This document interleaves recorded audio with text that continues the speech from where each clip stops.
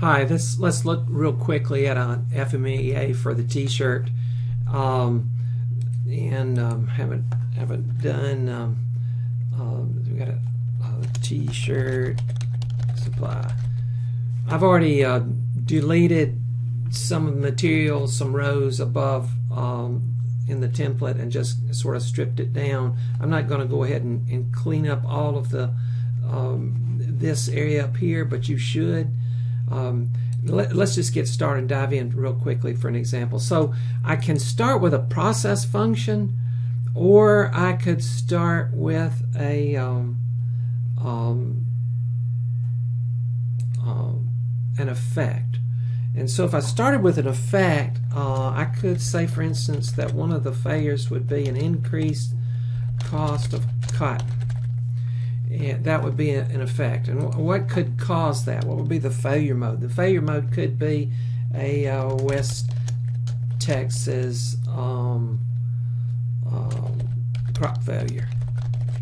And of course, if if that's true, then the process function really is um, uh, could be thought of as the buying cotton. and you could say it's the raising the cotton, uh, or you could say it's buying cotton, because uh, one of the recommended actions, if this happened, would not have anything to do with the raising the cotton, but would have to do with where did, where did you buy it. So recommended recommended action, if you had a West Texas crop failures, you're going to end up buying from different co-ops in different parts of the world. Uh, what could cause this? We a number of a number of reasons uh, could cause this, and this is discussed in the book. Um, and now we just look, how serious is this? Well, you know, I don't, I don't know. Even if you lost most of the West Texas uh, uh, cotton crop, um, it, it's it's going to have a, a, real effect, but it's not. It's probably not going to be devastating. The, the cost will increase. Class, we're not going to use. Uh, I like it in the template because in some cases, if I'm going to use this ongoing, I might want to uh, to give some uh, different classes uh, for failures. Uh, for instance, if there's certain types of my products that inherently have more risk, I might give them a different class. But let's just get rid of it. So we'll delete uh, that that column. And then the likelihood of occurrence of, you know, I don't know, once every five years or something like that. We'll just call it a two. What's the current process controls? You know, you've, you've got a, a current sp uh, spray schedule um, and then your likelihood of detection.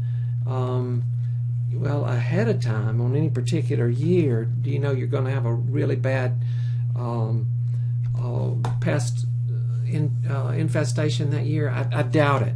And so um, there's my RPN. So I've created um, um, a, a, risk priority number for one of my um, failure modes. Uh, I, in this example for the t-shirt, don't bother with the recommended actions.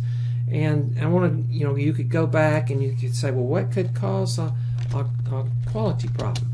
You know, I don't want to just say quality. What? How does how does a poor quality T-shirt manifest itself? Well, you know, maybe it's a, a, a poor um, screen print uh, in some way or another, and so the the failure mode, depending on what it is.